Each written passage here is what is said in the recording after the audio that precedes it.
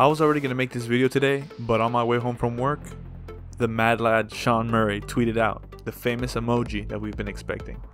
Uh, this time it's a telescope emoji. For those new to No Man's Sky, what this means is that the next 4.0 update is coming really soon. In fact, Sean Murray confirmed that it's going to be dropping this Friday alongside the Switch port. And Sean has kept busy. He's done multiple interviews with media outlets, and he finally let the cat out of the bag of what 4.0 is exactly going to be. 4.0 is going to add a bunch of interesting changes to the structure of the game. I, for one, am excited.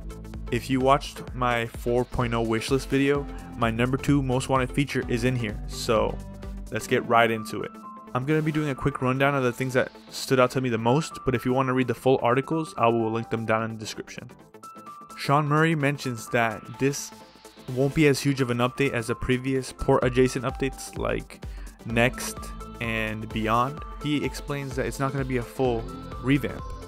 But even then, he proceeds to mention features that players have been asking for years.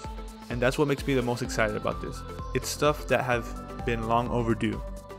Most interesting to me is the custom game modes and overhauled survival.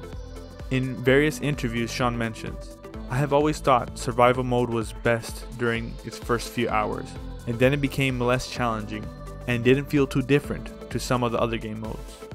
So we've made it a more challenging, more unique experience. To be honest, I welcome this change. Survival, feeling like normal mode, is what made me stop playing it because all it felt like to me is just smaller stack sizes and not much else. So I definitely am looking forward to playing survival now and experiencing this new challenge. Even more interesting to me is this thing that they mentioned custom game modes. Custom games will enable players to create bespoke sessions that better fit their needs at any given time, featuring options to adjust everything from controls to difficulty to how a lot of those sort of fundamentals work in terms of the pacing of the game, which opens up a whole bunch of different ways to play the game that weren't there before. In the PC Gamer interview, Sean elaborates on this further, stating, if you want to dial the challenge slightly differently, if you want to have permadeath in relaxed game mode, or whatever it is, you can do those things. You can change a ton of things to do with the controls, a ton of things to do with difficulty, survival, crafting. You can balance those your own way. End quote. I'm going to mention the relax mode in a second because that's also new. The really exciting thing that I've always wanted is a custom difficulty option because, let's be honest, No Man's Sky difficulty is kind of like vanilla pudding. I love the game, don't get me wrong, but that edge to difficulty has always been missing. I hope we could crank up the damage multipliers so that when you fight sentinels or pirates, you can actually sweat instead of just yawning and dozing off. On the other side of the difficulty spectrum, the article mentions that they're going to be adding a new relaxed mode that can be toggled on and off. Less focus on the grinding and the survival elements and more on the exploration. I can't see how they would make the game easier than normal mode, but I like the idea of a creative mode that isn't fully without risk or resource management. Um, I haven't really played creative mode at all over the years, so I would be interested in checking out relax mode to be honest. They mentioned that this is good for newer players and for people who just want to experience all that has been added over the years without having to grind through a lackluster tutorial. Speaking of tutorial, the interview also mentions there's a lot of streamlining in terms of the tutorial when you unlock certain things, what's available to you. All intended to fit No Man's Sky's 6 years of updates into a more cohesive whole. Personally, that's what I like to hear. This was actually number 2 on my wishlist video. Right now, the game updates have been kind of duct taped together, and some don't fit the rest, especially the way they're introduced to new players. So hopefully 4.0 will take steps to make that whole experience less jarring. This really also helps those who want to play on the go because the last thing most people want to do on the bus when they're waiting to get to work or on the train is to be grinding through the tutorial and like doing things that you don't want to do. When I play No Man's Sky, I want to just be out there exploring to be honest. And this relax mode helps when you're going to be playing in shorter bursts on the go. The article also mentions that they're going to be streamlining the inventory systems. Hallelujah. Hallelujah. If you've seen my inventory management guide, you know that I'm not a fan of how clunky and counterintuitive some of these features in our inventories are. This has been long overdue to be honest. They mention that these new inventories will also increase the level caps of players, ships, and weapons. Hopefully they don't just mean a bigger tech inventory.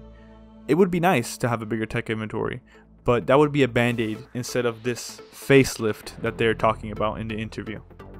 My biggest pet peeve with inventory is things not going into existing stacks and instead just clogging up multiple slots in your ship, in your cargo inventory, and in your freighter and your base storages.